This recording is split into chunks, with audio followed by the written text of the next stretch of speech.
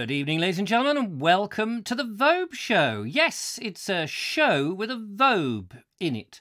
Uh, hello, and welcome to the 11th of May 2020. I am Richard Vobes in a back room in Worthing at the foot of the South Downs, the edge of the English Channel, and uh, I'm a bit chilly actually uh, today.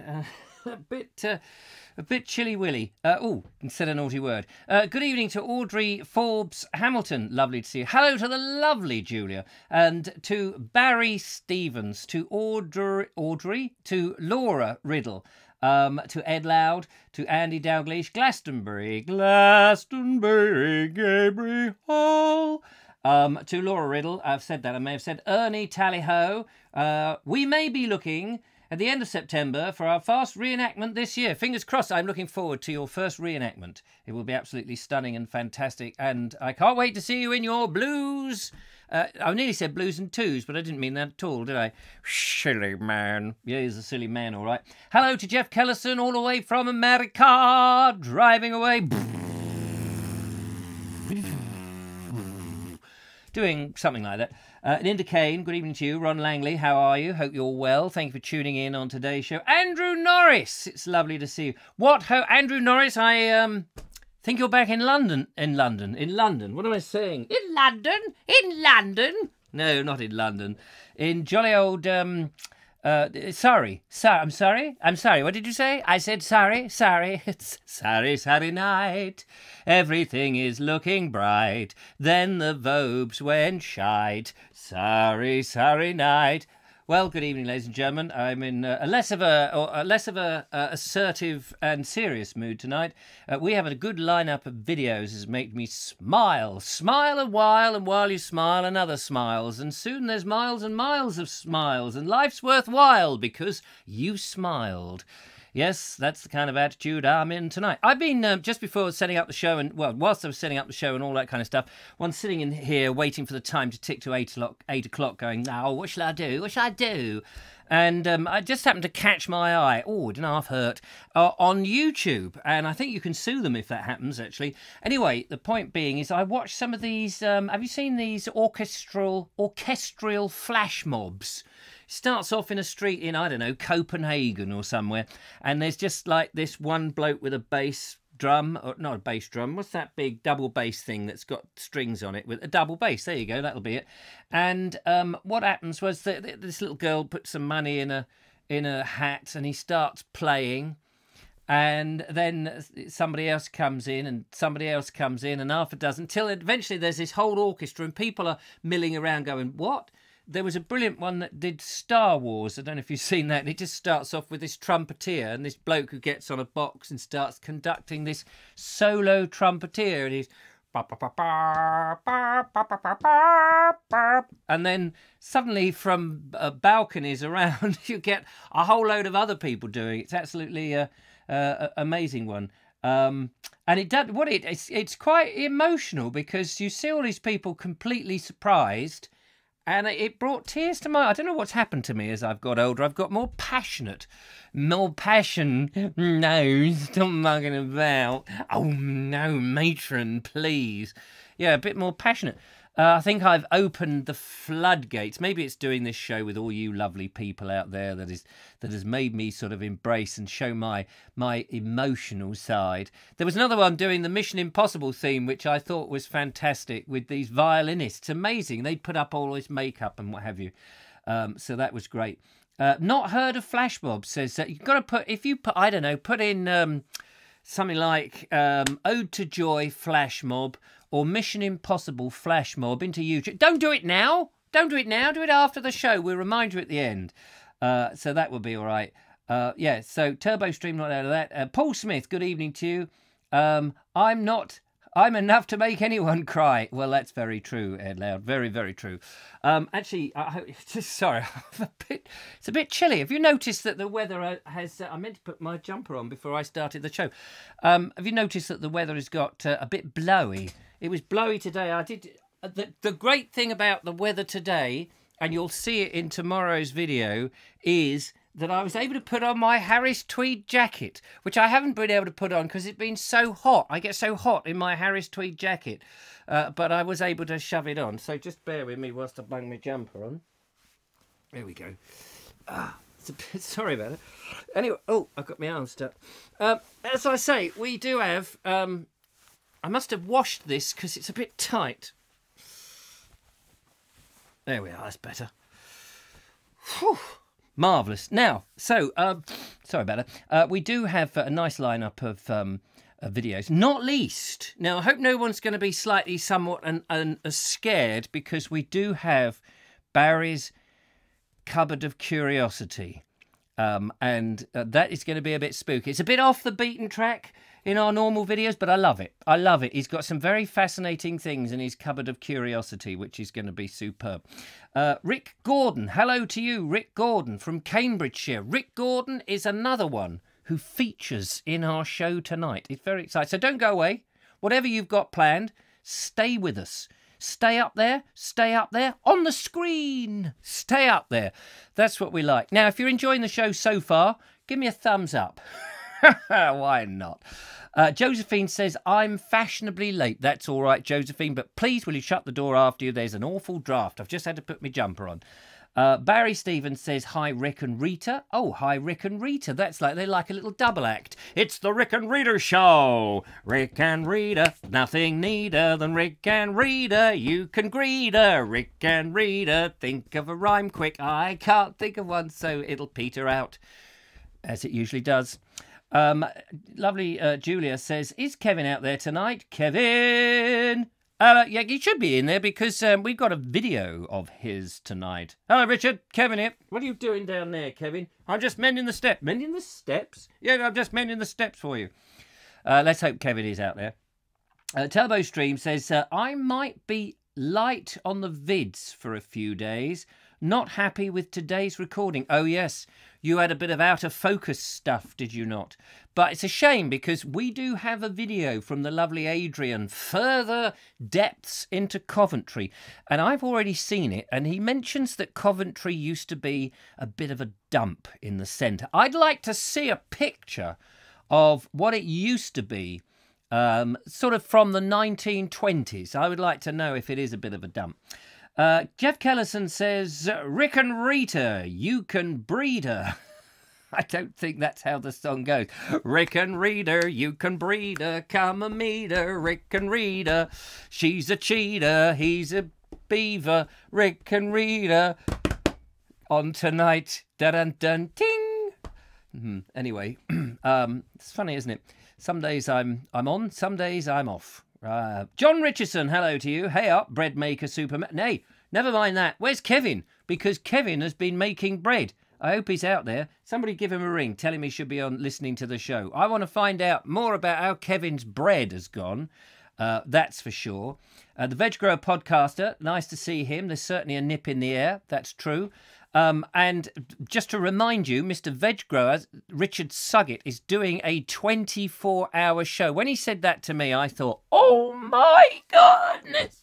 I know people do do these 24 hour shows, and you'd think that I'd be reasonably okay at that because I never shut my gob. However, 24 hours, oh my god! Yeah think what kind of zany nonsense if I was to do a 24 hour show. No, don't even think about suggesting it. He's doing it in aid of charities, got three top charities involved. So on Friday on Facebook, on the. Uh, on the Veg Grower podcast channel. Do check him out. So that that would be fantastic. Barry sees says, "What have I started, Barry? I want to look inside everybody's closet." And see what's in their closet of curiosity. What have you got lurking away? Have you got skellywags in your cupboard? Any of them hanging with necks of Kimbo? Can you get necks of Kimbo? I don't think you can. Uh, Turbo Stream, Birmingham, not Coventry. Is that what I said? Coventry. Did I say Coventry? Uh, sorry, I, I thought I was sent to Coventry. I was sent to Coventry to observe Birmingham from the top of the uh, bombed uh, whatever it was, Cathedral. Yes. Ed Loud says, Richard, you do 90 minutes quite often, that over 22 and a half hours uh, just the straw that breaks the camel's back. Yeah, sometimes, sometimes, you know, I'm a bit wibbly wobbly, but hey, who knows? Uh, Mike Dixon, hello, Bella, hello, Mike Dixon. I'm just working on my Mike Dixon impersonation. Hello, Mike Dixon here with Bella. I just thought I'd share that with you. Yeah, we've been out doing our mental health, our, our one hour uh, obligatory walk. Uh, it's Mike Dixon. Um, it's not very good, but I'm working on it. I like to try and, you know, see if I can get them. Kevin's Rambles is here. Hello, Kevin. Uh, he says, I've arrived. Sorry, I'm late. My daughter pulled up outside and um, my house is at 1950. Oh, what a shame. Uh, I hope you invited her in so that she could watch the show and fed her some bread. Here, love, have some bread. I'm hoping that we talk to Kevin a bit later on in the show uh, about his bread making, but not quite yet because we're going to have a video first of all.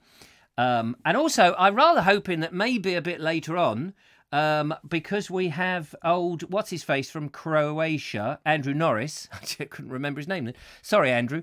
Um, I hope that because I know it doesn't cost you anything to ring in. It would be nice to have a, a with you um, not least because I want to know it's your village and your apple trees. We're going to see all of this in the video, but I don't want to give too much away uh, because it's fantastic. But I've got a question about your um, apple tree, uh, so uh, that might be good.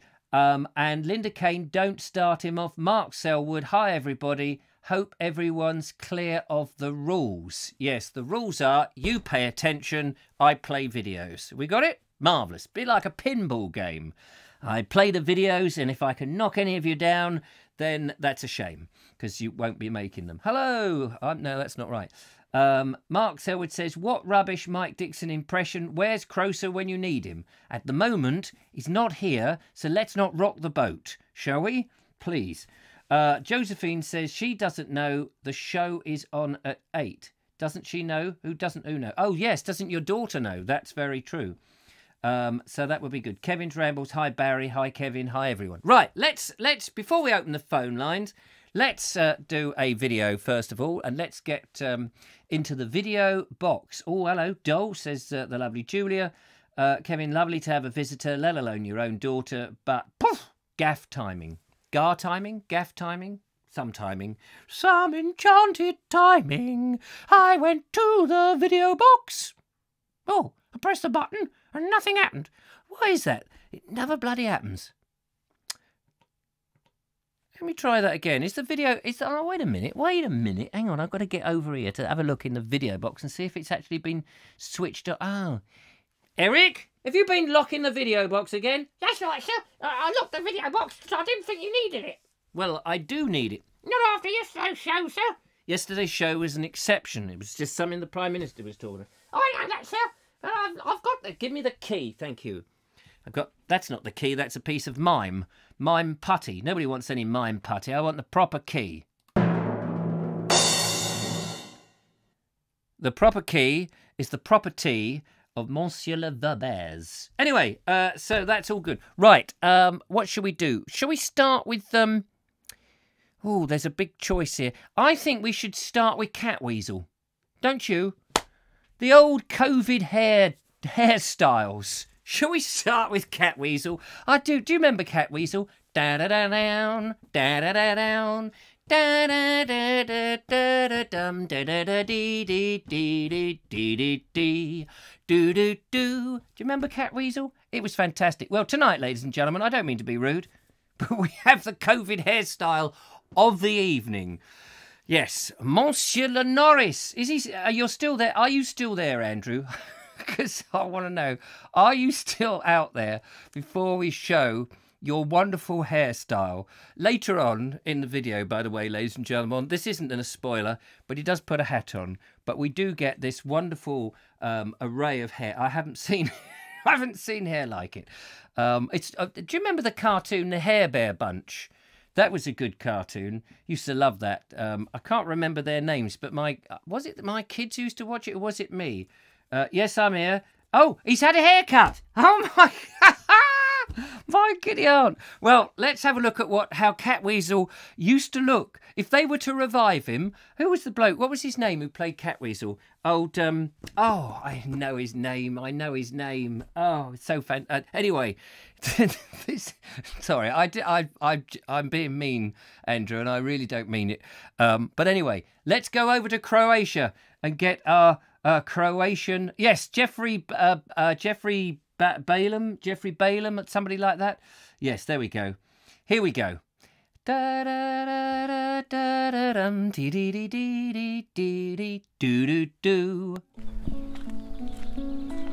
Hello, roasters. It's Thursday, the 30th of April, and I've come back to the village for the first time in about five weeks. I've managed to get permission to leave the city, and I've come to the village, and there's all this grass to cut, but the smell is intoxicating. As expected, the garden is a bit of a mess. This is our vegetable plot. We're planning to give it a rest this year, but uh, if I can't get to England, might uh, grow a few things. And over here, this is supposed to be our raspberries. Here's rhubarb. I must have removed these. And over here is the asparagus. Now our neighbours were able to pick a few pieces, but there wasn't much this year. And I've just picked a few. And this behind me is our magic apple tree. It's magic because it's still surviving despite being struck by lightning. And I see unfortunately that uh, over the winter it lost another branch. Great shame. And this is the new orchard, as it was one that we planted ourselves about, again, about five, six years ago. Bit vulnerable to deer, but uh, still looking good. Oh, we have some blossom. This is our Japanese maple. And over here is my little wood of horse chestnuts. And here's one I prepared earlier, about five years ago. This horse chestnut from a seed. Fortunately, the deer got to it, so we have three trunks. But it's doing pretty well.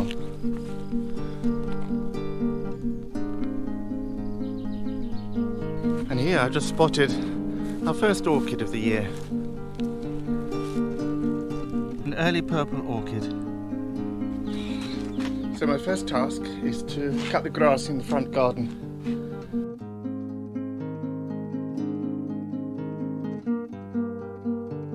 There we go, one immediately feels better.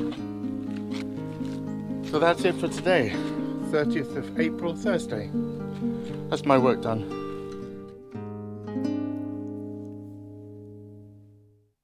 There you go. That was Catweazle, who changed at the end to Benny from Crossroads. Oh no, no, that was mean. That that was mean. Brilliant, brilliant. It give us a ring if you can, uh, Andrew, if if you're able to, um, because I'd love to ask. It wasn't the apple tree. I made a mistake. It was the conker tree. I wanted to ask you about your tree. You said had two um, two trunks, and I'm guessing that that's what uh, came from one seed because one of the oak trees that we've got has the same issue and it's kind of like a stunted tree but it's got two trunks. And i wanted to ask you about that um, but only only if you can i know i've been mean to you now so you probably won't call. Um, but absolutely fantastic. Uh, it was lovely to see the conker trees and i saw that one of those trees also had a bit of uh, brown on there and um, over here we the trees suffer from oh i've forgotten the name of it now julia knows um, what do you call that? Uh, that uh, canker, canker disease, or the rust, or whatever it is, and um, that's a shame. And I just wondered if that is actually just in our country, or if that is uh, worldwide, and um, whether it is the same in uh, Croatia. But um, uh, but otherwise, very nice. Uh, I'm glad that your neighbours managed to go and rob you of your vegetables, which was a bit of a shame. Uh, but there we are. Anyway, everybody else enjoyed that. Nice video, wonderful video. Linda Kane, fantastic. Kevin's Ramble says, excellent, Andrew. Thanks for sharing. Mr. Connell, I'm eating McVitie's Orange Club. Oh, by the way. Oh, well, that's. Uh, That's okay. You can do that. We don't mind.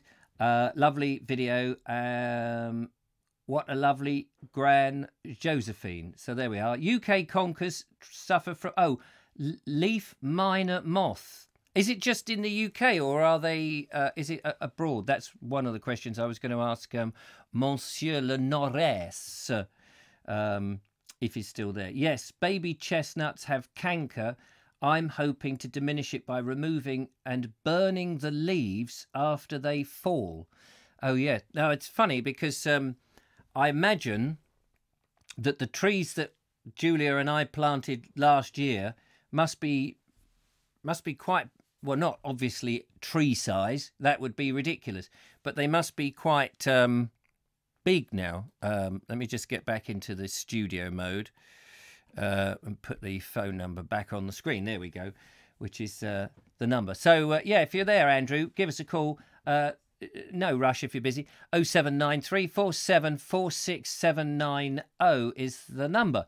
Now you've got a number of these. You've been making a whole little series back into um, the since you went back to the village. I can't remember how long you'd been over there. It's it's it's fascinating. Do people um do they forget? What do they, what do the locals do about cutting their hair talking uh, a bit more seriously? What do they do? Do they um they presumably they just go out with the old uh, sheep shears, do they? Anyway, uh, all good stuff. Fantastic video. Diane says trees develop multiple trunks when they're coppiced, eaten by an animal, or partially harvested by people. Oh right. Oh, they when they're coppiced. Uh, yeah. Um, you see what happened with our little oak tree when I when I planted the oak. I planted the oaks. I'm just trying to think back what happened. And that's right. I wasn't sure that anything was happening. I put the acorns in and they sat up here. I don't know if people remember. They sat up here for ages and ages and ages. And then the spring came and I thought, nothing is happening. I dug one up and it started to have come out. You know, the little root, the the the I don't know what you call it now. The little I used to know the name of it. The little sort of what's the name root used to come out, and it and I thought, oh gosh. And I tried to cram it back in the pot without doing anything. And I didn't touch the other one, or the other two, which however many we had to start with.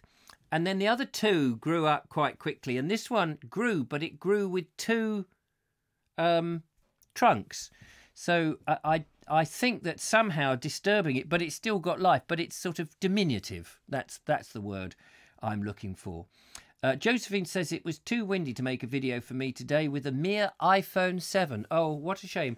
Yes, it was. Um, we got a call here. Let's find out who that is. Um, yeah, it was a bit windy and, and it's difficult. Hello, caller to the Vobes show. What ho, Richard? What ho? It's your Croatian correspondent. Oh, I'm, I'm so pleased. I'm so pleased you rang. It's nice. To... Yeah. Are you enjoying the show? Absolutely, yes.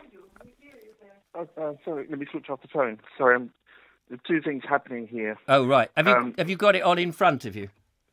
Uh, visually, yes, but yeah. we're trying to play a game of Yahtzee with Sid in England. Oh right. Oh okay. Yeah, yeah. Oh, I've just looked at the screen. Of course, I've got your favourite jumper on at the moment. Absolutely, yes. Um, I, have just put it on because I was cold. I saw you put it on, and I, my heart sank when I saw it. But oh, did it? Cold. What when I put it on? Yeah hang on. I tell you what, just for you then, as your heart sank, I will take it off. It's all right. I will take it up. Just bear, with me because I can't hear you now. All right. You can probably see me stripping off. Uh, actually, the screen is frozen, so um, oh, it's frozen. I can't at the moment. Yeah, but um, oh no, no.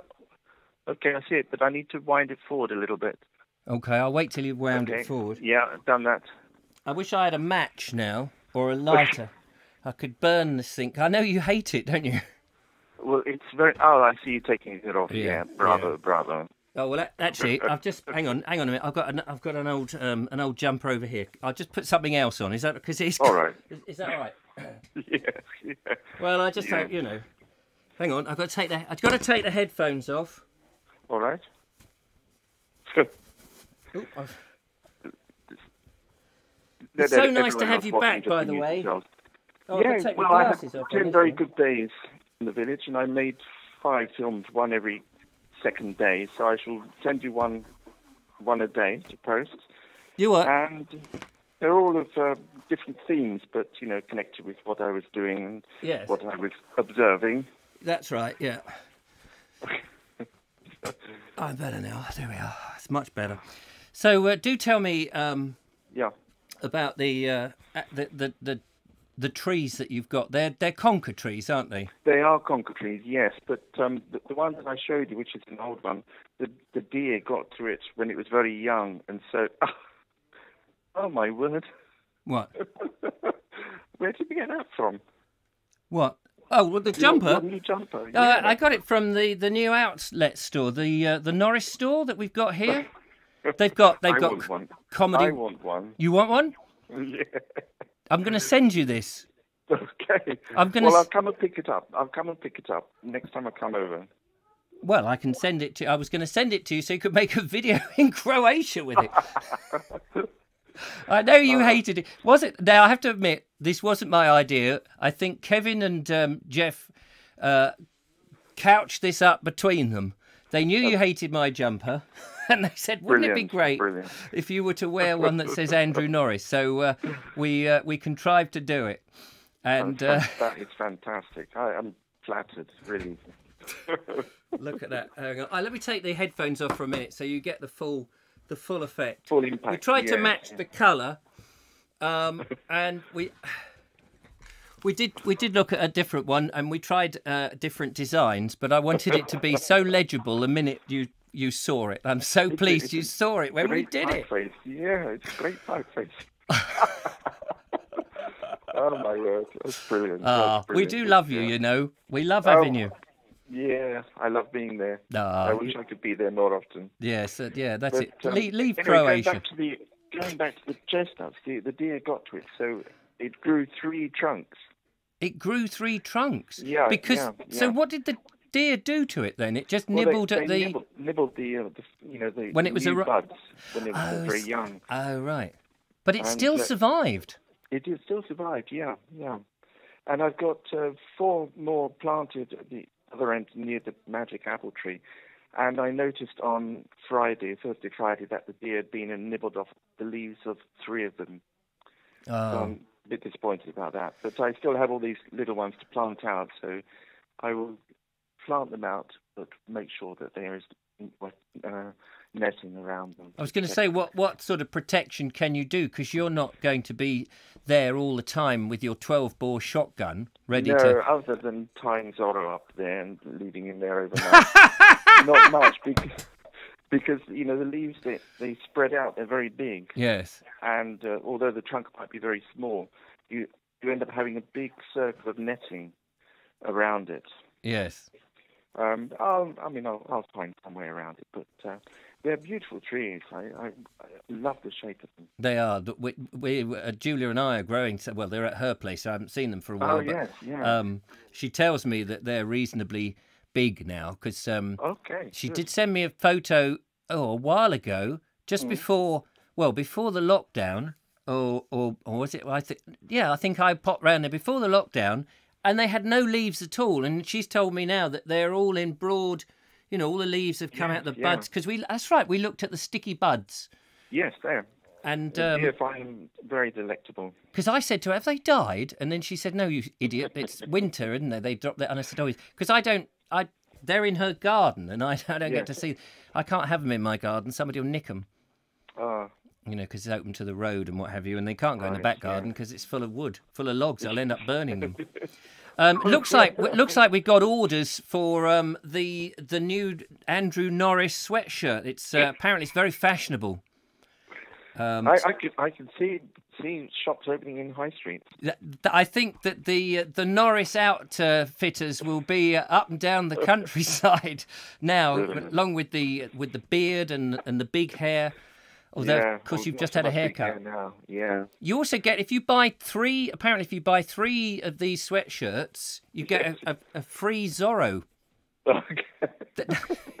It's a promotion they're doing at the moment. You get this. Uh, Fantastic. It's it's. Is- you should. it a smaller version with four arms. Yes, that's it. Because the next runners we want to get uh, a little for the winter. I think we'll have to get a little dog coat with Zorro Yeah. on it. Uh, oh yes, you'd like that with a mask. With a mask, yes, the mask of Zorro. yeah. Oh, that would be so funny. Uh, Brilliant. oh, he's looking at me now. Is he saying where is it? Yeah. Yeah. yes, yes. I want it now. Yeah. Yeah. Ah. Well, I would, I would say thank you to everyone who made such nice comments about my film. There are more coming, and I hope you'll find them as interesting. Yes. They're all slightly different, but uh, uh, all about the village. And um, I'll be going back next week. We don't need to apply for permission now. That law has been, or that rule has been changed. Oh, thank God for that. Yeah, yeah. How far is the village from from Zagreb? Zagreb. Z- I can- Zagreb. Zagreb. Zagreb. um, if if Jasper's driving, it's an hour. If I'm driving, it's an hour and a half. Oh, you drive slowly, then, do you? Yeah, I, I'm a. I mean, I passed my test many many years ago, but I only got my first car back in August. I resisted it all these years, but now I have a car. Wow. Um, I'm driving very slowly. Yeah. yeah. You, it's, but you got to be careful with those BMWs that you don't, uh, you know, get into. Once you get I into wish, fourth yeah. gear, you know, it's they go a bit faster. I never get above third gear. Andrew, it's a joy to talk to you, and I'm so Yeah. pleased that you uh, Yeah. enjoyed our little ruse. oh, I did, I did, and and the sweatshirt's fantastic, really. Oh, I will. It will be. I'll have to get your address off you so I can mail it to you.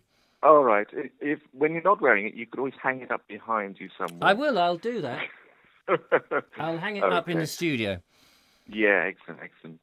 All right, Richard. Good to good to hear you. Thanks for your support, and uh, and hi to everyone else out there. So catch you later. Yeah. Take care. Okay, Richard. All the best. Bye bye. Thank you. Bye. Bye. Ah, there we go. The uh, Andrew, Andrew Norris, ladies and gentlemen. Andrew Norris, that was uh, that was marvelous. That was absolutely marvelous. Uh, so thank you very much, everybody who made that uh, possible. It was all good fun. Uh, I think it's time for another video. I think so. Uh, as Julia says, thank you for calling in. Uh, absolutely. Let's go to the video box and see who's there. So, yes, shall we? Um, Rick Gordon. Rick Gordon. Not Dick Gordon, special agent, but Rick Gordon, our agent, up there in Cambridge, Cambridgeshire, if I can say the words. He's been out and about, take us to a very interesting location to do with VE Day. So, uh, without further ado, V shall go and see what it's all about. Hello everyone, it's Rick again here. Um, so I'm just heading just outside the village and I thought we'd um, have a look at something today which fits in with the VE Day celebrations.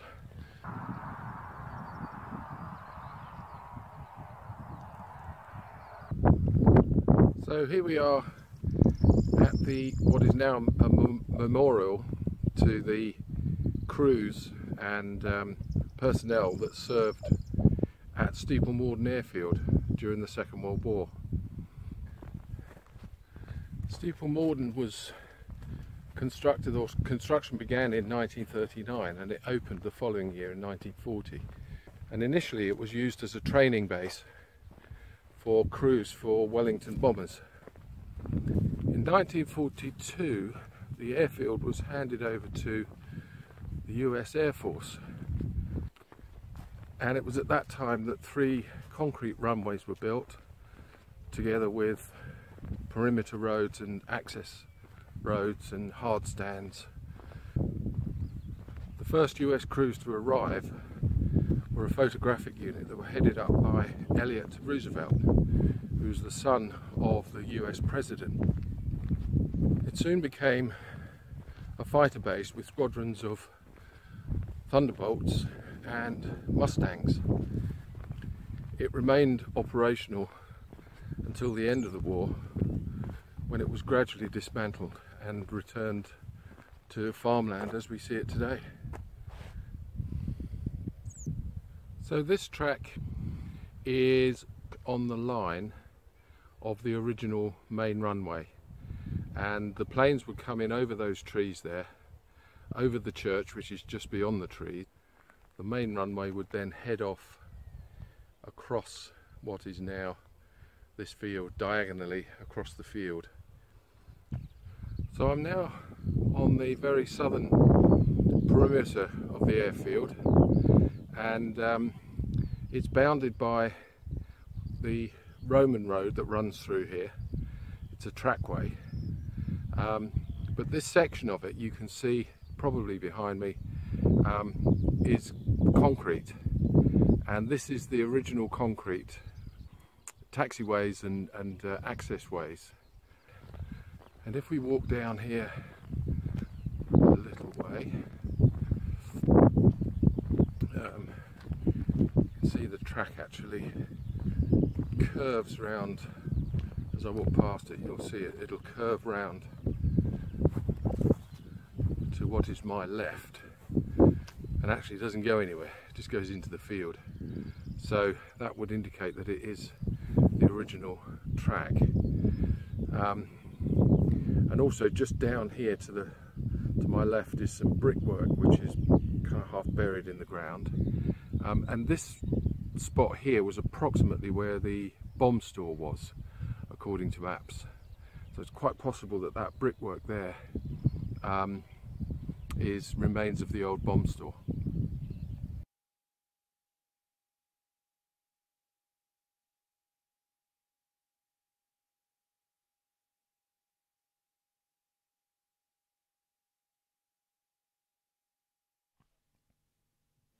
So that's it everyone. I hope you enjoyed this very short tour of RAF Steeple Morden and uh, the, the, the few bits that remain. I'm going to finish my walk and make my way home. Thanks a lot. Bye for now. How about that, ladies and gentlemen? How about that? Absolutely uh, fantastic. If I move that way, there we are. Uh, Andrew Norris's uh, shirt, jumper, sweatshirt, sweatshirt. Uh, take it off, says uh, Kevin. Take it off. Keep it clean. Righto, Dad. Righto, righto, Dad. Brilliant. Thank you, Rick. Very interesting. When I first saw your video. I thought, what's behind that wall? Is the rest of the aircraft behind the wall with its nose and propellers all the way through it?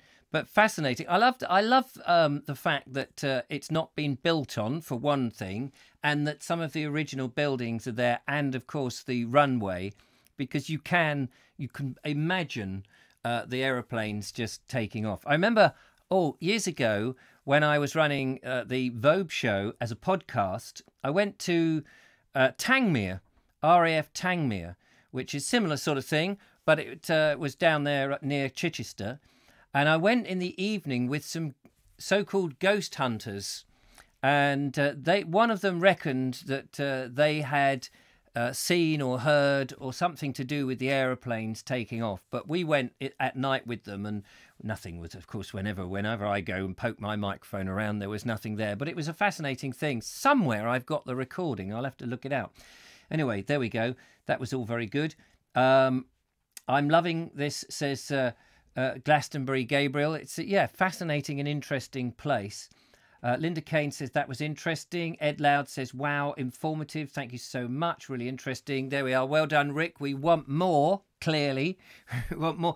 It's interesting when it's sort of not in this area. You know, I mean, Glastonbury is over. I mean, Gabriel's over in Glastonbury and uh, Robert Croser is up, up in, in um, Cumbria. And you're our man in Cambridgeshire. It's it's great to have the have these. It's a bit like the BBC, isn't it? Only it's the VBC. That's it. Tonight on VBC One, we go nationwide with Michael Barratt. Let's find out who's calling into the Vobes. Hello, caller. Trouble's calling. I thought it would be you. Hello, Dad. I've taken Hello. off. I have taken it off and I've hung it up. I'm keeping it nice and clean. Oh, I can see that. Well done, son. Thank you very much. Thank you very much. so, was that all right? Did that go to plan? That went brilliant. Brilliant. Yeah, absolutely. Well, it was, you know, to be honest, it was it was Jeff's idea in the first place. Yeah, please be Um, honest. I will. I'll, I'll be honest. It was Jeff's idea in the first place. Nothing to do with me at all. But I just helped you along a little bit with trying to get Andrew to to be on the show tonight and or watch the show, but then ring in. Mm, and and but it went it went so well. I loved the bit when he said, "I hate it, I hate it." Look at him, which just naturally led me into. Oh, all right. Well, I'll tell you what. I'll tell you what. I'll take it off, and it just oh, just so happens I've got an old ropey thing here. it couldn't. It, it couldn't. You know, the discussions that you and I have had this, and it couldn't have worked out better. Couldn't have worked out better. Fantastic. No, so there no, it's brilliant. Yeah, Lovely. So how are you? What are you up to?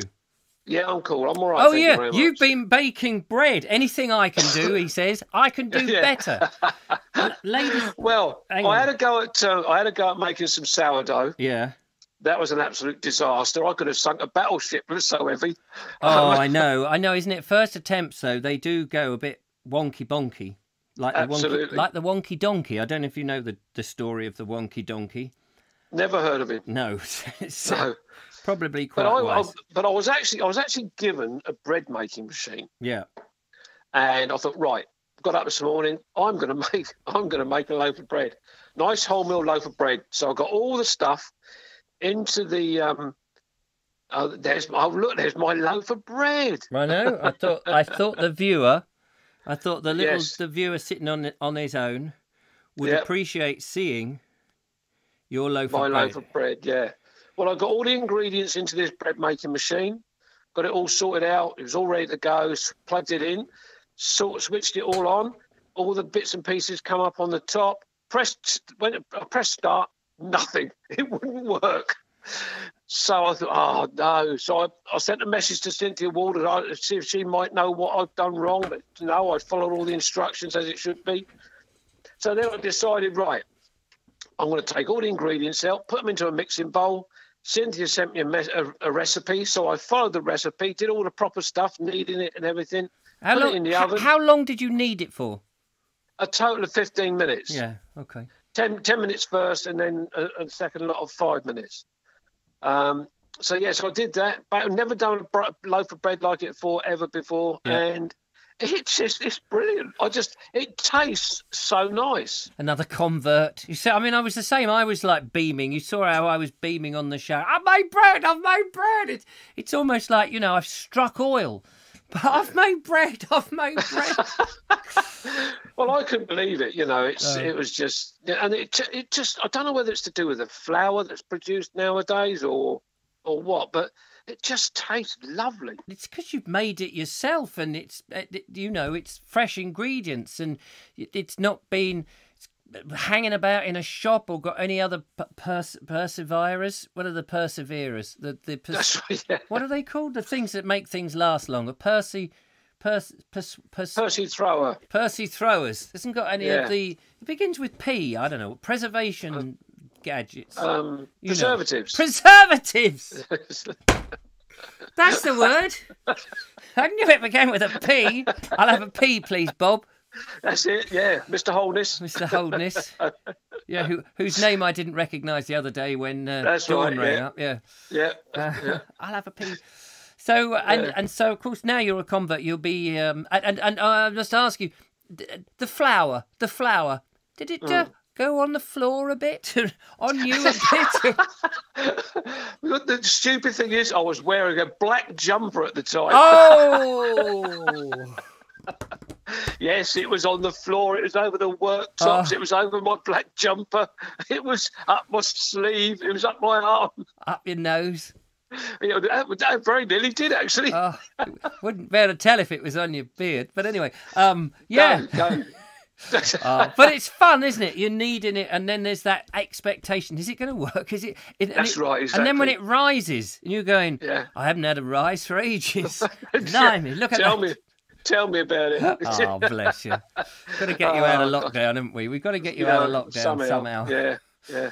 Uh, I saw a pigeon on the back fence this morning. That looked quite attractive. oh, you're a bird fancier, are you? Oh yes, I love the birds. Yeah, Oh, oh, loaf it out, mate. Loaf it yeah, out. you it out. Yeah, that's it. Yeah. Oh dear. So you're a proud father of a loaf. How much is left? I've had three slices of it. I've been. Uh, You don't want to use it up. You don't want to use the poor little thing up too quickly. Well, uh, no, I want to. Yes, You want to make more now, don't you? I've got, I've got to make yeah, and I don't want to leave it too long so it starts going mouldy. No, no, no. Well, you should be able to get through a couple of days with it. But uh, now, of course, you'll have to uh, make one for Shelley, your daughter. yes, yes, yes. She's on a diet as well at the moment, so So, can she eat bread? I don't know. I've got to find out really. Yeah, yeah. Well, she can have a, Um, she can have a slice, can't she? What about Cynthia? Yeah. She only lives down the road from you. She'd like a nice loaf. Um, s- s- seven, uh, six, I don't know, six, seven miles away. You're not far. Yeah. I Well, mean, she she makes bread anyway. She's brilliant. She's much better at it than I am. oh no, but I'm sure she'd like to have a go at tasting your bread, seeing as she gave you the idea. Well, that's quite true. Yeah. Yeah. Um, So so far, that she's given me um, a, a recipe for banana bread, so I follow that one. Oh, blimey. Uh, a, a recipe for scones, so I've, I've made two lots of scones. I've got another lot in the cupboard now. oh, Linda Kane so- sent me some scone recipes. I haven't done those. I'm waiting for a, a miserable day. Oh, we're going to get plenty of them this week. Yeah. no, it's going to be very cold. Um, what's this? Hang on, Josephine says says Kevin's desperate to go help bird watching again. Yeah, yeah, attracting birds. Yes, yeah, Yeah. that's more like it. Well, if you, uh, I think though, if you've got bread making skills under Yeah. your belt, Yeah. and um, I think that would be something that would attract the fairer sex. Well, you know, I hope it helps. You know, all these all these skills that I can develop over the next next few weeks. Yeah, it might just I'll put it on my CV. I can make bread. I can imagine you on Tinder. Swipe, swipe the Kevin, and it says, it says perfect with flour. I can paint your banisters. I can do your ceiling, love. I can make your bread. Now I'm going to ask you a question. Yes. What the hell's Tinder? What's the hell's Tinder? I don't. Well, it's a little box, and I believe if you strike a flint, you I've can. heard of one of them. Yeah, it's a Tinder box. And you Oh, can, right, apparently you can get the app. I've never quite worked it out because I assumed what it was was a gas lighter, like those little things that you go click, click, click, click, click, you know, to light the gas. I assumed that's what it was an app, like you can get an app to change the telly on your phone. But uh, apparently that's not it. If you swipe the wrong way, the worst one to get is Grindr. Apparently, I thought Oh, that. is it? Yeah, I thought that was for coffee making. Oh well. But You uh, can, well, you can do yes. There's loads of grinding you can do on. You could you can grind um, wheat and you can grind um, coffee and and you can. Oh well, let's not go there. Um, don't want to grind your nuts too early. I don't know if that's where you were I going. mine. I think mine, mine. I think mine has disappeared. Bless. You need to have a hot Oh, bath, mate. That's what you Uh, need. yeah, I know. Yeah. See if oh they no, pop out. Anyway, Yeah. uh, hang on, Richard. This is a family show. Yes, yes. Why are you dragging me down to the pits? It's the only way I can. You know. You know. Well, what am I like? I'm always like that, aren't I? We have a video of you on the ready on the loop to play in. Oh gosh. Yeah. Oh, but I better. I better get off the phone quick. I think we should uh, see who is more. You uh, you cut your own hair recently, didn't you? No. Oh no, who was it? Somebody said. I mean, I know that Ed Loud cut his hair, and he cut it right off. Yes, I did see. I did see his video I thought somebody else had said. I maybe I dreamt it. Uh, somebody else had cut their own hair. Um, I had. I had. Did, I had threatened to get some clippers and, and take mine right off. oh right, yeah. So And, and, and I had one or two people say, "No, don't do that. You, look, you look stupid." So I want to see who looks now more like Catweazle than uh, you or Andrew. In the first section, it's a competition. well, you both got the same sort of hairdo and, and stuff. So, um, I think. I think Andrew, Andrew's from the video before he had it cut look, looks looks a lot thicker than mine. Um, Is yours- a lot fuller? is yours thinning out, dear? Yes, it is. Is it? Very quickly. It's terrible. Get him. Yeah. Get him whilst he's got the hair ladies. Going, and the hairline's going further back. Get him whilst he's got some hair ladies, or he'll end up baldy like me, and then he'll be on the Oh. shelf forever. Hey, it would be, t- be like look, two bookends then. Yeah, yeah. And I've got plenty of books in between. You have. I was going to say something about that. Yeah, but you beat me to it. Nice to talk to you, Kevin. Cheers, Richard. Well- Take care, everybody. Look after yourself. And you. Bye bye for now. Bye bye. Oops, I cut him off. There we go. Lovely uh, Kevin All there. Let's get him on the screen, shall we? Let's see what he looks like in real life at this moment in time. Get into the video box if I remember how to do it. And here is Kevin out on the first, I think, of three little segments. We're going to play in the other segments tomorrow and the day after, but this is the first of his adventures. Morning, Richard. Kevin here. Sound of rushing water. Where am I? I'm at North Mill in Midhurst. Where I'm standing on these grassy banks. When we had the floods earlier this year, I, I'm five foot nine, just over. I would have been about three feet underwater. So it gives you an idea of how deep the water was when we had the floods. So I'm going to press on. I'm going to walk on up the, the river walk, or the Rother walk as it's called, up towards Woolbeding. So I'll catch you later. There we are. Lovely Kevin there. Ready to take a dive. In episode two, he strips down to the waist to show off his new bodybuilding that he has been doing, just to impress the ladies, and then does 15 lengths backwards and forwards and a couple of dives off the weir at the back. Uh, well worth coming back for in tomorrow's show. Believe that? you believe anything. Anyway, there we are. That was the lovely Kevin. You are, of course, uh, very welcome to make your own videos of you stripping off to the waist, doing some swimming in some ice cold water, or, of course, something a bit more sedate, uh, wandering around some lovely bit of scenery or whatever it is that you enjoy doing. Uh, in the meantime, of course, uh, you can uh, give us a call on the show. I've lost my camera. there it is. Uh, and say hello. Uh, always lovely to hear from you. 07934746790 is the number. What we need is someone to uh, write a jingle, actually. If somebody could write a jingle for me, that would be great. A little video jingle with the 07934746790. Just something like that. No more than 10 seconds would be perfectly adequate. Thank you very much. I'll assign that to whoever picks up the challenge. Uh, Mark Selwood, uh, hello to you. He's out there saying, "See you, Kevin," or rather, in his case, "Isn't it? It's beautiful, isn't it, Kevin?" Um, Mark's got a lovely video on, uh, which has got the um, uh, the what do you call them? The engine houses from Poldark, and he went and visited them the other day. It's, he's got a video on in the Bald Explorer. I was watching uh, it uh, with his drone. Um, absolutely flabbergasted that he's flying his drone over these uh, swelling waters uh, and no fear that his drone will act, you know, will go into the water. I would be absolutely petrified. Beautifully shot, uh, Mark, if I may say. It's, it's beautiful, isn't it, Richard? It's beautiful. Um, your drone shots. But what was the most surprising is he, he was telling us about these engine houses in this new Poldark series, and he's never watched it. He's never watched the series. I thought, oh, sounds like sounds like me. Uh, I have actually. I did see the first series of Poldark, Winston Graham books. I read the books actually. I read the uh, the first six or seven books of Winston Graham books, and I have to say, uh, the series, the first series, and I didn't. I did start to lose interest in the both the books and the TV series after a while. I had other books to read, I suppose.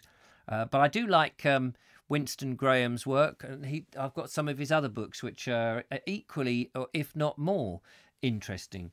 But uh, anyway, that was uh, that was that. Michael Angel says, "Never mind, Stephen. Your back is worse than your bite." Uh, yes, just read that. Uh, Stephen Ruff says, "I wish I had teeth to grind." Michael, uh, you don't want to grind. Oh, wish you had teeth to grind. My mum had dentures. Oh my goodness, it was very comical when she'd forgotten to put them in. And then she would come out for a meal. We'd take her out, say, Come on, mum, we'll take you out. And she didn't have her dentures in. And you know these old people who don't have their dentures and the lower jaw just sort of just disappears into a basically a thin line with puffy, puffed out. It's just as if it's collapsed. It's like a hen sitting on an egg that's made of rubber that's just gone like that. It, uh, bless her, bless her. She was very put out when she went, "Oh my goodness, I've forgotten my teeth." And, and often she would carry her teeth. She used to wear the most tattiest clothes. She was uh, usually um, under the influence of alcohol, but when she wasn't, uh, she was okay to get on with. And she used to wear these tatty clothes, and she would fish into one of the pockets of some, you know, like um, a sports, like a what do you call it? Uh, like like a hoodie, but the one with the zip at the front. Um, whatever. Well, I suppose it is a hoodie. She'd wear that, but didn't have a hood, a tracksuit top type thing. And she'd like be searching, and then out would come her teeth stuck to an old sugar sweet or some boiled sweet and dust and stuff. And she'd pull this all off and just stick it straight into her mouth. Oh my. Uh, Ed Loud. Ed Loud, are you still doing this? He's still doing this. It's very sensual, isn't it? I tell you what, if you could, if Ed Loud and I could do like this, two heads together, we could do an impression of Dolly Parton. It's an old joke, but it's uh, always fun. Anyway, Robin Marshall says drones do sometimes. They say there are quite a few rivers there are uh, there's quite a few in rivers and in places. Yeah, I bet I bet there is places where you can't get to the thing, and I wouldn't want to spend the sort of money on a drone I know uh, Mark did, and then have it drop out of the sky. But Mark says I've flown the drone long enough to overcome my fear of it plunging into the heart in a crumpled heap. Still get shaky flying it though. Certainly doesn't look shaky. It looks, you know, incredibly still. Do you slow it down? Some of those images where you were going up there, I figured you must have slowed it down because it looked very good.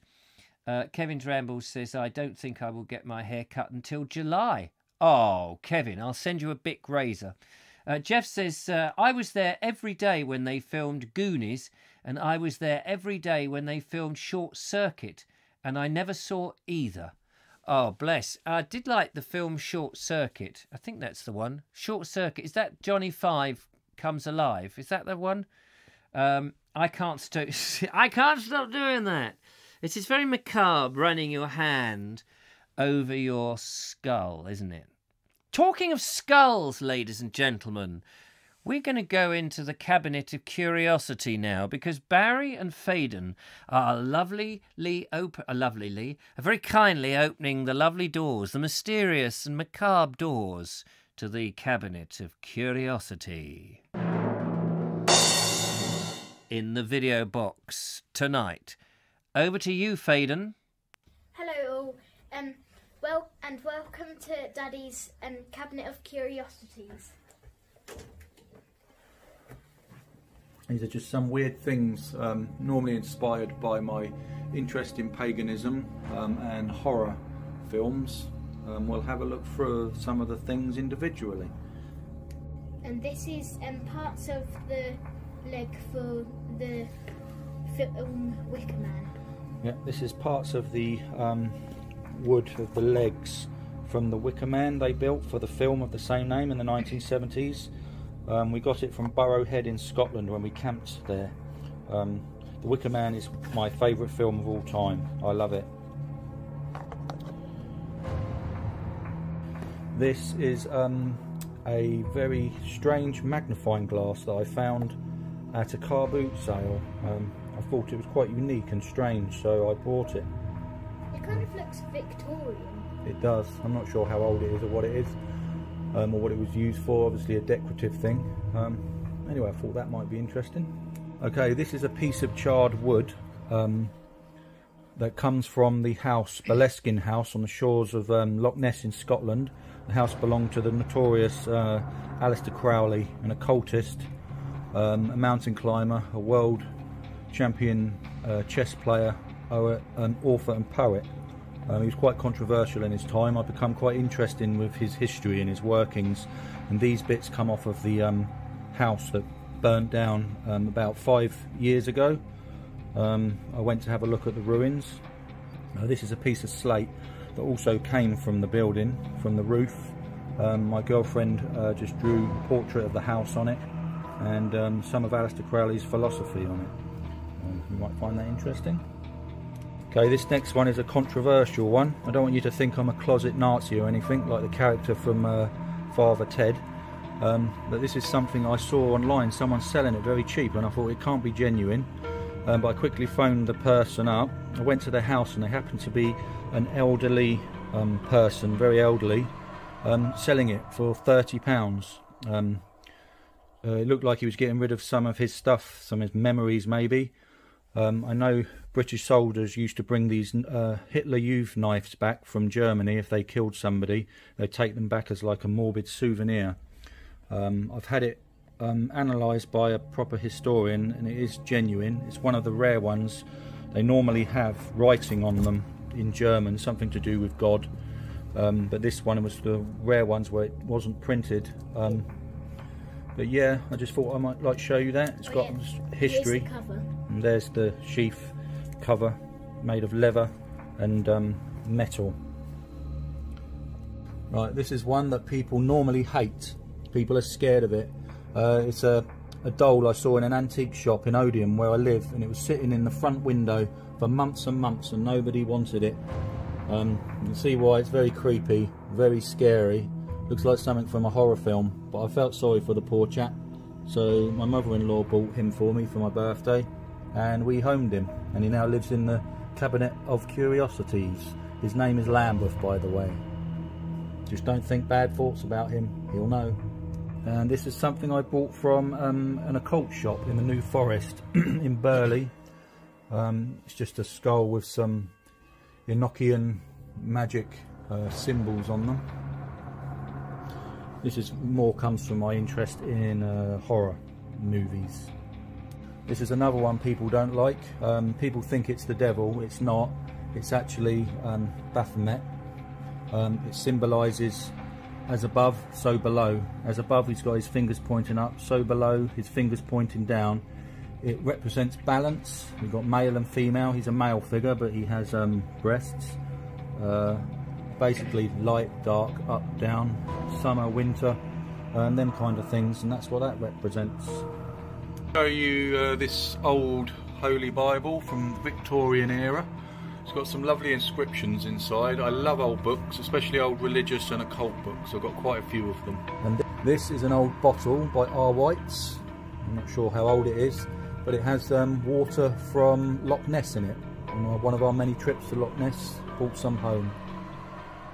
And these are basically, uh, I find this mushroom and the history, the fly agaric mushroom, um, fascinating. It has quite a history. It's influenced quite a lot of things in culture, including books like Alice in Wonderland because of its hallucinogenic properties. Something very mystical about this mushroom. Um, anyway, we're going to leave it there, and um, I hope you don't find me too strange. But uh, that's like some of my interests. Anyway, goodbye, everybody. Goodbye. Bye bye. Mushrooms, toads. Oh, hello, we're back. And the phone is ringing. Golly, let's find out who that is. Hello, and welcome to the Vobes Show.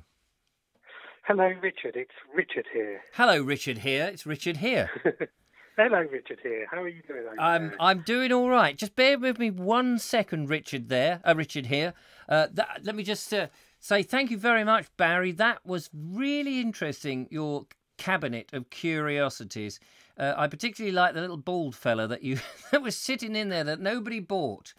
Um, I thought that was uh, that was lovely. So thank you for sending that. A bit longer than we normally have, but it was very interesting and interesting. So if anybody's got another cupboard of curiosities, do film them. Tell us about an item that you've got that you think might be interesting. Uh, anyway, hello, Richard. Hello, Richard. Well, that's convenient you talk about that video because I had to ring up because of the Hitler Youth knife. The Hitler. Oh, the Hitler's Youth. Hit- Hitler Youth knife. Hitler, Hitler Youth knives, yes. I'm Yeah. a bit of a, a knife collector. I haven't told many people about this, um, but I've got a bit of an interest in knives. Have you? And yes, so I can tell you a bit about this Hitler Youth knife. And he's completely right. They were given to members of the Hitler Youth during the World War II era. Uh, the earlier models used to have etched into them the motto "Blood and Ehr," which stood for blood and honour. Blood and honor. Yes, just what you want on a, a nice little group like that. And are given to very impressionable young boys. They were given as a, a memento for passing the exams. Gosh. Kind of like, here you go, you've done it. Yes. Um, get a bit like getting a driving license when you pass your driving test, I guess. Yeah. That sort of thing. It's just that when you've got your driving license, you can't really stab somebody in the back with it. No, but you can drive your car into somebody. That's very true. Although with a knife, you could slash their tyres. Yes, yes. Gosh, it's a it's a it's a strange thing to give to uh, um, kids, isn't it? I mean, how old would the kids would the kids have been who'd have received this knife? They would have been 14? teenagers, possibly as young as 10. As young as Uh, ten. Yeah, yeah. Um, and they also included girls. Gosh. So, yeah, it wasn't just a male or an aged. No. Oh right. Yeah. uh, Gosh. It was, um, yeah, yeah. Now, uh, I think he said he paid £30 for that knife, which is about the going rate. Oh, So is it? Have, been- do you have any of those knives? I, I don't know. I won't have any of that, that insignia and that stigma attached to it because I think it's it's curiosity. I've got nothing against that. I just I don't like the the whole thing that goes with it. No. Well, that uh, absolutely fair enough. So tell me about the knives that you've got. Oh. Your your, Um, your phone line is um a little bit muffled. Is it? That's better. You, said this last time I called in, funnily enough. Yeah, no, it. Uh, I don't know whether it's how you hold the phone or uh, it's suddenly improved. Oh, I did just move it closer, so that might have been what it was.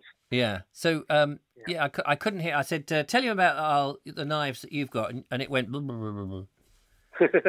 Right, well, I said I've got quite a few in my collection which are locked away and I don't really give a melt that much anymore. Um, in it, I've got three machetes. Three machetes. Three machetes, yeah. One of which I brought back from honeymoon in St. Lucia. And I normally get asked how I got it back with through customs. And actually, there's never any problem bringing that back through customs, provided it's legal to have in this country. And that is legal to have in this country. And and you declared it, obviously. don't need to declare it because it's not a controlled or something that needs declaring.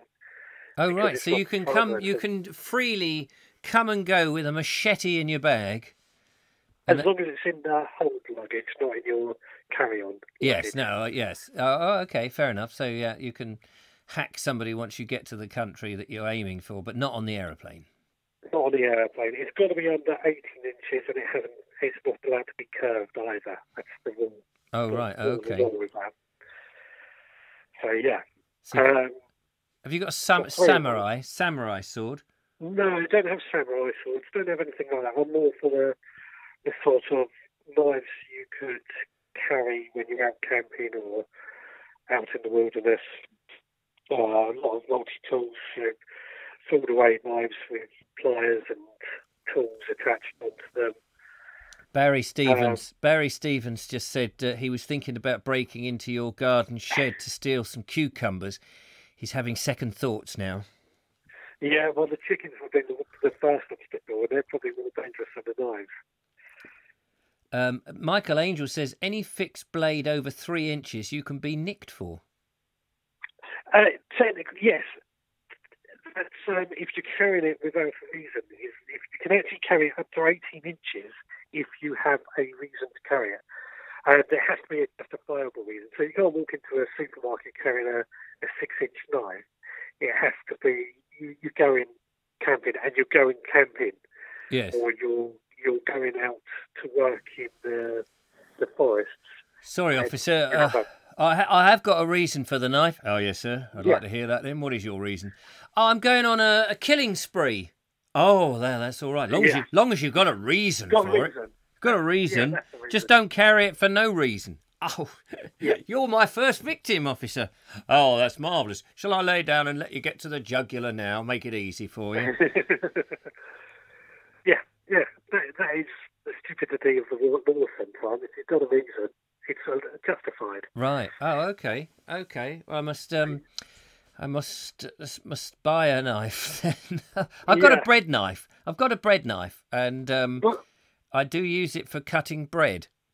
Well, funny enough, that's that's why that three-inch wall it comes doesn't come into play because everybody has knives in their kitchen, and when you buy a knife, you've got to get it from your home or from the shop to Yes. your kitchen. Yes, true. And if if you if you couldn't get it over three inches, how would you get it home?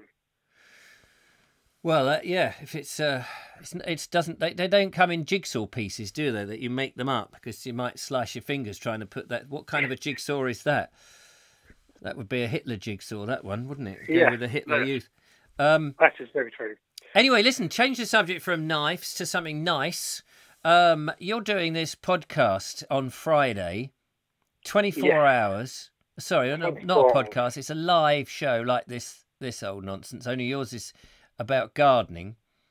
That's right. Yes. And and, and whatever live else happens after 2 a.m. in the morning will be interesting. yes, we were going through our sort of agenda earlier today, and we figured between two and five we've got a spare, shall we say, in order to. I think what you should do is put um, put the sh- put a portable version of the show into the van, drive to the allotment at two in the morning, stick up some lights, and start weeding. Start weeding, because by five Yeah. o'clock, God knows what you would have pulled out, but you probably left all the weeds. But it will make great content. Well, that that is that is a an option. If only I had a mobile studio like ah, Oh, what? Yes, it's a shame. I can rent the Essie to you. You know. Yeah, yeah, Yeah. yeah. so you've got three charities. You're raising money for these different charities. Uh, what sort of charity? What do the, what is the kind of charities they're for? What do they ra- for gardening? People with no fingers and that sort of thing. Yeah, they're all gardening charity. The first one is called Green Fingers, which is a charity to get or build uh, gardens um, for children in places where children are in care or um, hospitals for children. They build gardens in these sort of places to cheer the children up. Right. That's the first charity. The second charity is Thrive, which is a garden charity for people with mental health disorders. Uh, again, try and help those people out. And the final charity is Perennial. And Perennial is a charity that helps any gardeners that may be struggling financially or fallen onto bad times. It's there to help them out. But they must be busy now. Then They must be very busy. they yes. must be So, very uh, busy. So Yeah. and, you're doing it. What are you, you? You're doing it with Lee, aren't you? Uh, yes, Lee. Is- And uh, he's not. He's not going to be in the studio with you. Presumably, you're going to be flicking between the two of you, where he lives and where you live. Uh, no, what we have set up is the joint um, live stream like you did in with Julia. Yes, sorry. I guess that's what I guess that's what I meant. But you're you're not actually in the same because of lockdown. You're not in the same studio, but you're going to be yeah split screen. That's, I guess that's what I meant. Um, Yeah. Yeah. Oh, great, fantastic. Well, it's Yeah. certainly worth uh, people looking into, uh, especially if they're interested in gardening and anything that can go wrong with gardens at two o'clock in the morning. Yes, well, we, we've already had one problem because uh, one of our guests was going to be Monty's dog, Nigel, who is Monty Don's dog, Nigel, who you often see on Gardener's World. Oh, Monty Don, the famous gardener, his dog That's it. Nigel. Yeah, his dog Nigel was going to be calling us. Unfortunately, he passed away last night, so we can't. You could have a séance. Could you have a séance? Could you get um, could you get various carrots in a circle, Well, we and did, or some bonios? yeah, we did think that, but we wondered if it was possibly a bit too soon. Yeah, it was a bit soon. Was a bit soon. I, I'm glad I didn't suggest that. I mean, I think that Yeah. would have been in bad taste. Um, Yeah. But uh, yeah, maybe um, uh, maybe who who else is who? There must be another gardener with a dog or an animal. Uh, Percy Thrower did what did Percy's? Oh, he's dead as well. Um, well, at least Monty Don didn't die. That would have been a, a little bit more. So you can't get Monty Don to ring up then. Well, that's our challenge. We're going to try and have a challenge right throughout the 24 hours to get Monty Don to ring in. Yeah, I mean, he might still be in mourning. He might still be in mourning. But you can ring him early in the morning and say, Yeah. "Well, you're in mourning. It is now 4 a.m. We've got an hour to go." Oh no, you finish at 5 p.m., don't you? But you could ring him in the, anyway. Whatever. I'll let you work it out. But that, so that's great. Well, good luck with that. Um, Thank you. fingers crossed, and I'm, I will carry on plugging it until the cows come home and people turn up. Yes, well, we're, we're plugging it quite a bit in some of the various charities. And Good man. What time, involved. says Barbara Charles, is his podcast start on Friday? It's 5 p.m., if I remember rightly. 5 p.m. Yes, 5 p.m., British 5 summer p.m. time. British summertime. Yeah. The reason we chose five is that when we finish at five the following Saturday, we've only got to stay up a couple of hours before going to bed. And You could go to bed. You could go to bed at, at five thirty, couldn't you? You could just, you know. In fact, you could actually go to bed at two a.m. and we could just watch you snoring. that's an idea. I didn't think of that. Yeah, see, I'm full of it. Yeah. And in fact, you could do the next feature for the next two hours. Is we're going to watch this plant germinate. That's an idea as well. Yeah. If you need, if you do need any uh, crazy ideas, then just ask. I'm full of them. Well, we need plenty of crazy ideas. We've There got we are. plenty of videos coming in as well. So Excellent. Well, better move on. But thank you so much uh, for the call, Richard. Lovely to talk to you, and uh, thank you for telling us you. about your your uh, knife collection. you're most welcome. Knife to see you, to see a knife. Yeah, you too. Take care. Take care. Bye bye. Cheers. There we are. That was the very knife Richard Suggett, who uh, also is a champion kickboxer, apparently. Um, I've never asked him to kick me to find out, but there we go. How about that? Nigel Sadler says, I thought that would be up your street, Kevin. See what I did then? Uh, no. Uh, All Creatures uh, was mainly filmed in Askrigg. And how can we donate to the charities, says Kevin Rambles. Um, what you have to do, obviously, Kevin, is put the £50 note in an envelope and address it to R. Vobes, uh, care of my address in Worthing. And I will obviously make sure it goes to a very good charity. Apparently, there's a charity called the Bald Explorer who um, he makes some videos going about and desperate for cash. Um, Robin Marshall says, um, Yes, I will. I went to the surgery, a real one now, and a museum. No idea what people are talking about.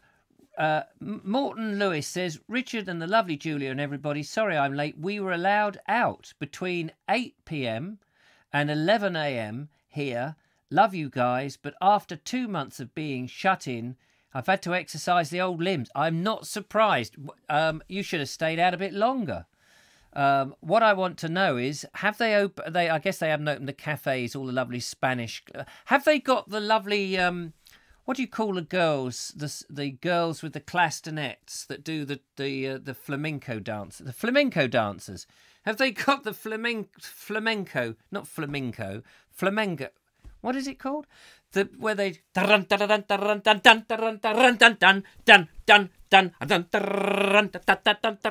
all of that are they allowed out have they been out you know in the bars doing i don't know quite why they do this this is a. I associate this with the uh, the Clastanet. What are they called? Somebody must know.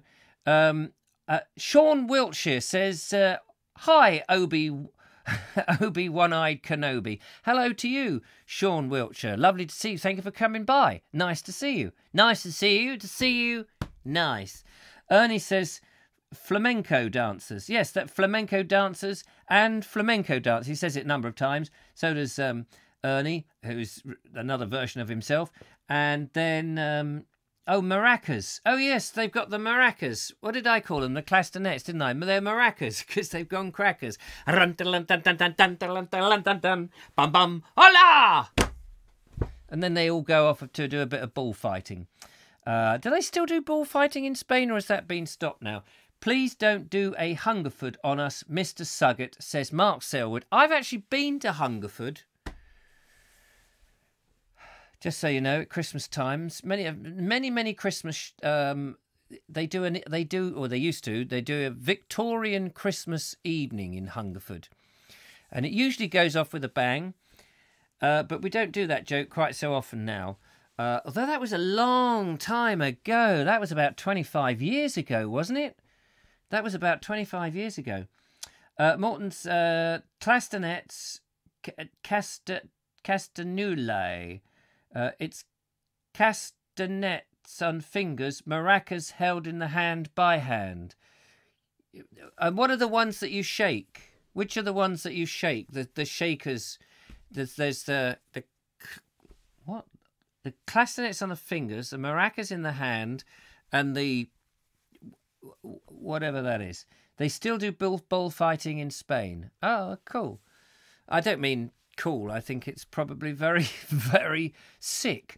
Uh, but um, it's funny, isn't it? Some of these traditions that they're like, you know, the other day I, I was reading what was it? We were reading in the in one of the things about people making bowler hats in the 1930s and it's still people still believe that people in London walk around in a pinstripe suit with a bowler hat just as you know the it will be an enduring image of bullfighters in Spain. Um, it's it's it's crazy how these images just stay with us. You know if you've got to put an image if you wanted to put an image of on a on a website of, of an icon for a telephone people still use a dial up telephone as an icon for a telephone. And these same people who are doing it probably have never used, you know, are too young now to even have actually used a dial up telephone. And nobody uses dial up telephone, but very often you still see the dial up telephone being used as an icon. Isn't it isn't it strange how these things they just stick it's it's incredible. I don't know how I got it. Spanish castanets, says Rick Gordon. Spanish ones. Spanish ones in Spain and French ones in France. We we just have the coconuts, do we not? For horses. Clip, clip, clip, clop, clip, clop. I don't know what I'm talking about.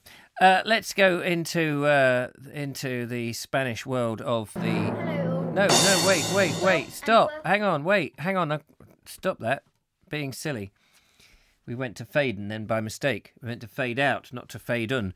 Uh, right, we have uh, we've had uh, we've had Mr. Norris, we've had uh, Rick Gordon, we've had Barry. Let's uh, we've got and we've had and we've also had Kevin. So there's only two to go. It's a toss up between Gabriel or Adrian. I can't remember who who. I don't like to push you know the same people to the end.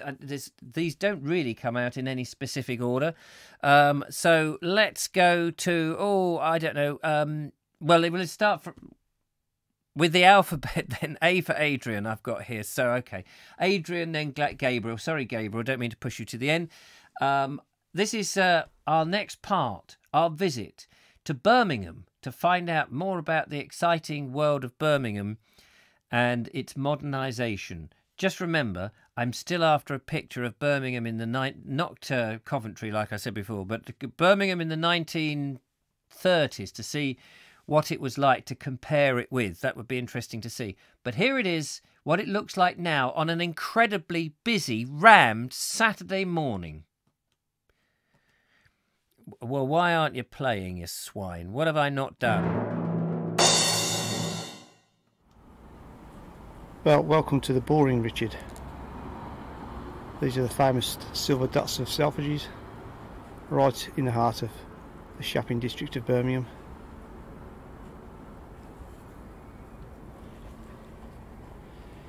This silhouette is St Martin's Church. This is what all the uh, people come for. That's the um, the Bullring there. You could drive along here at one point years ago. It used to be absolute. The old Bullring was a complete and utter dump. And that's the rotunda in the middle. Now converted into apartments. You can see what a transformation Birmingham's had over the last few years. For the fancy restaurants, that's looking down towards the famous rag market and the outdoor food market.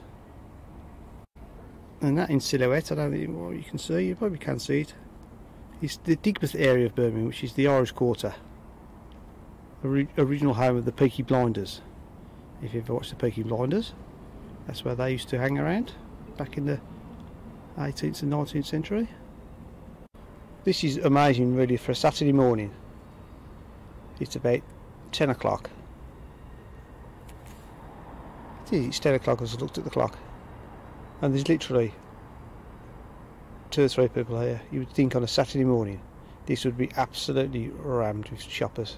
I would never normally come to Birmingham on a Saturday. And look at it, it's just like a ghost town. There's more police than there is um, people. Anyway, I hope you enjoyed my little mini tour of the Birmingham city centre. There's lots more to see. That's only two areas. We'll see you in the next video, Richard. There we are. Absolutely rammed with uh, police and obviously no nobody buying anything.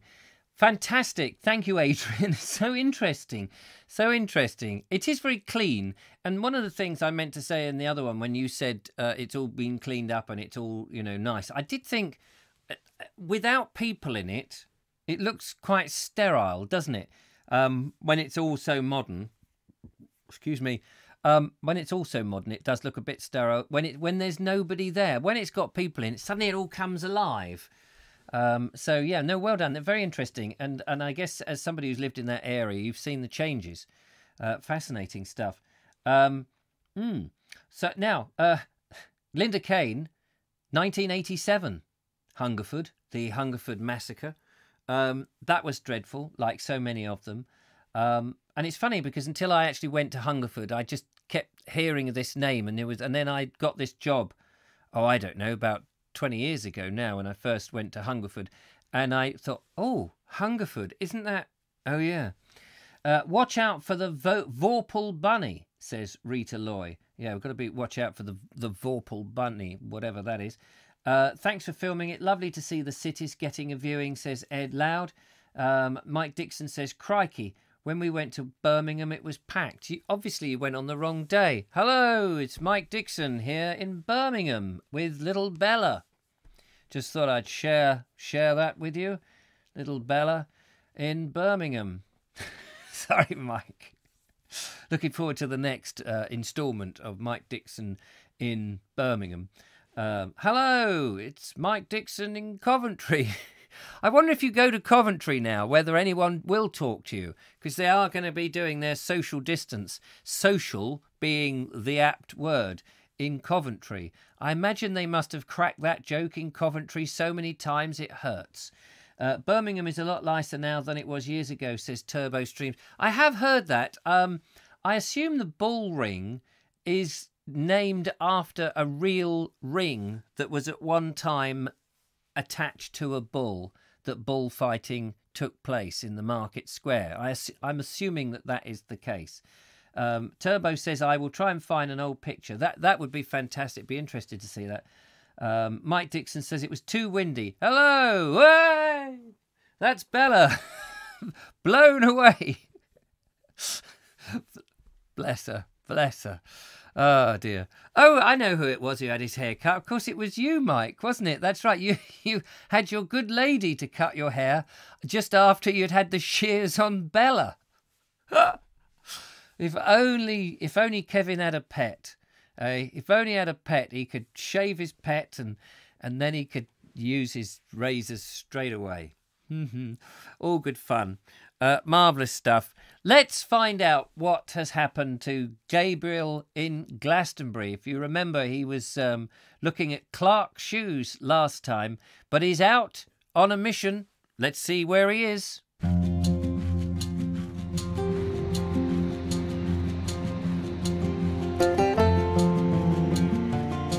Hi, and thanks for joining me on another Glastonbury Gabriel video.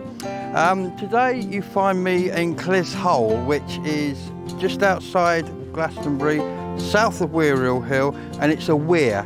And it's the point at which Glastonbury's mill stream leaves the River Brue, which I'm stood next to on my right here. Um, the, the mill stream originally was built in the 12th century um, and has many notable buildings on it and travels through what was Glastonbury's industrial area. So I'm going to follow the uh, mill stream from here where it leaves the Brue to where it rejoins the Brue out on the road back to Meare. So thank you for joining me. Let's start the walk. So where am I today? Clyse Hole Weir, where the mill stream splits from the River Brue, is shown here by the red X. The blue line shows the course of the mill stream that we'll be following during this video. The red line shows the current day course of the River Brue further to the west. The green X shows the position of Northload Mill and the yellow X shows the site of Beckery Mill. And the town of Glastonbury can clearly be seen just to the east of our walk.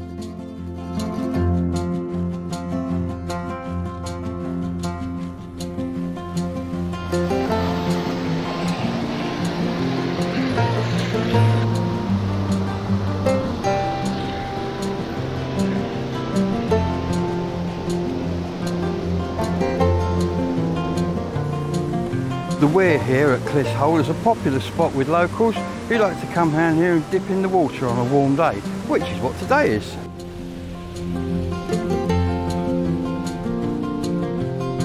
And this is the River Brue flowing off to the west of Glastonbury now. We'll rejoin that later. As can be seen here, the River Brue at this point is heavily man-made. It's straight as an arrow, runs across the fields, it arrives at this weir, does a quick left and a quick right and flows off towards the west of town. But it's this point here that we're very interested in. This is where the mill stream comes off. Uh, I'm stood on a, a land bridge over it where the, the sluices are controlling it, but basically this is the start point. And look over here, beyond that tree, you'll see it carrying on where it heads off towards Northover and that's where we're going to go now. So now you can see behind me the actual start of the mill stream here and then it travels off that way towards Glastonbury. That's the southern slope of Wearyall Hill you can see in front of you there. And these are the 12th century earthworks through which the mill stream flows at this point. So we've reached the first bridge since leaving the source of the mill stream back at Clyse Hole. This is the bridge that carries Roman Road towards the A39 and would have been an original road out of Glastonbury. So here we have the War Memorial which was set up to commemorate the dead from the two factories behind me. Um, they were the largest employers in town at the time and obviously many many people lost their lives in that great conflict. Every year after the main memorial service up at the cenotaph in town, a delegation comes here and a second wreath laying takes place.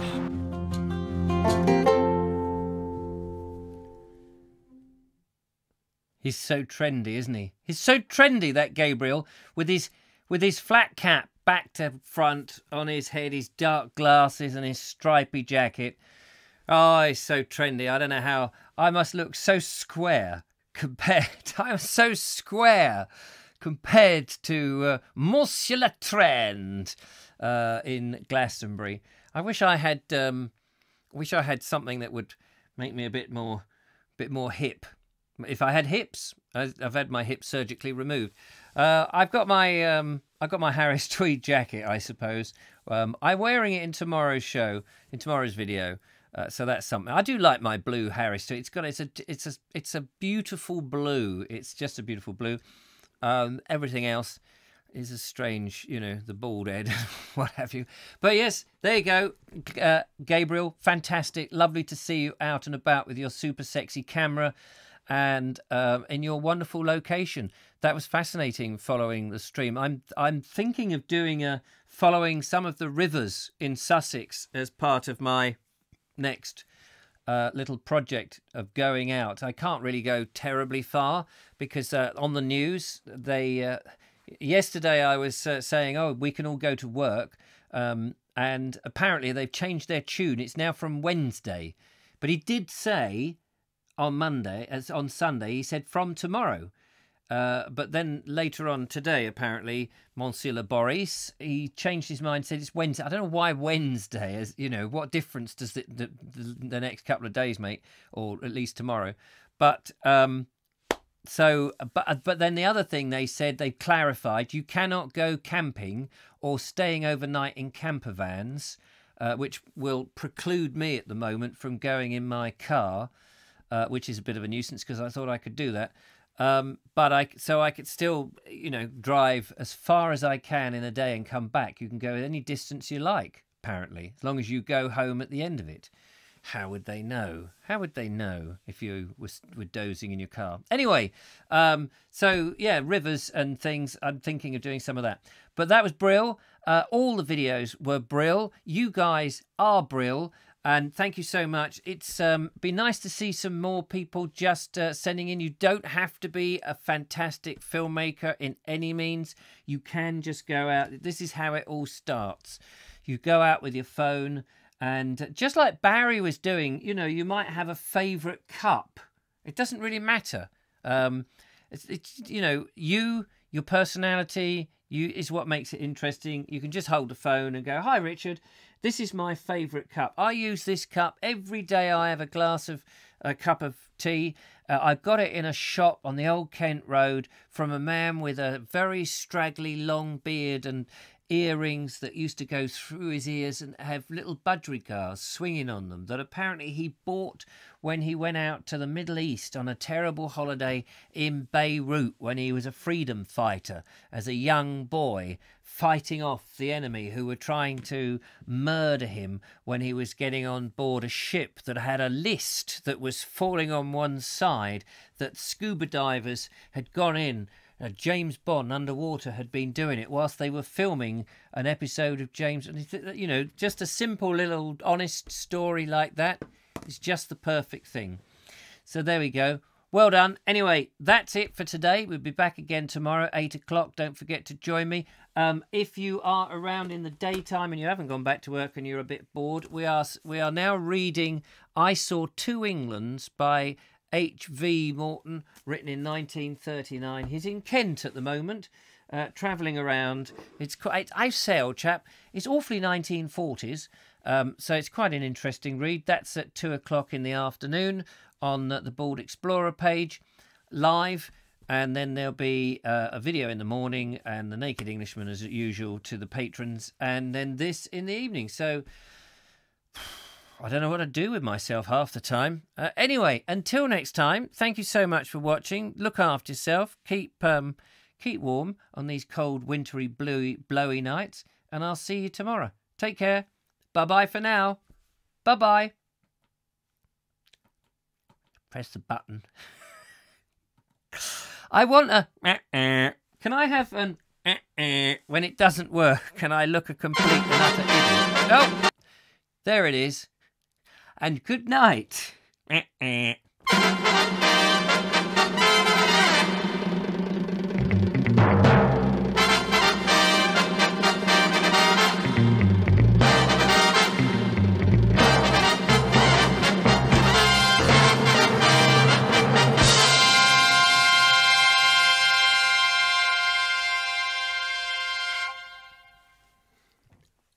Is an eh, eh. I just wanted. Oh, it's come back on. That's not supposed to happen. That's not supposed. To... Go away. Go away. Get on with you. I've got things to do. I've got to wrap up Mr. Norris's thing. Sneaking up on me. I don't know. Why isn't that working now? What? Hang on a minute. Wait, wait, wait, wait, wait, wait. There. Oh, it is on. It's not a sign. My goodbye. Oh!